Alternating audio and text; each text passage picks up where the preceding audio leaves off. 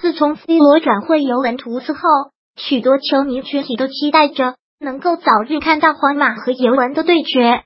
现在机会到了，北京时间八月五日早上六点，皇马和尤文将进行一场季前赛。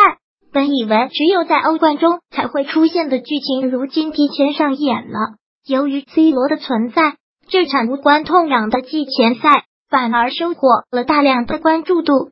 对于中立球迷来说，他们希望 C 罗能够在这场比赛中完成尤文首秀，对手正是老东家皇马。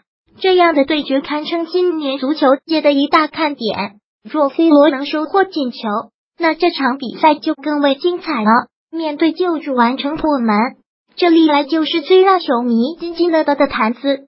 但对于皇马球迷来说，很难能够在短时间内接受 C 罗作为对手出场的局面。毕竟葡萄牙人曾为他们带来无限的荣誉和快乐，此时他们的先生恐怕只有一个：求 C 罗别上场。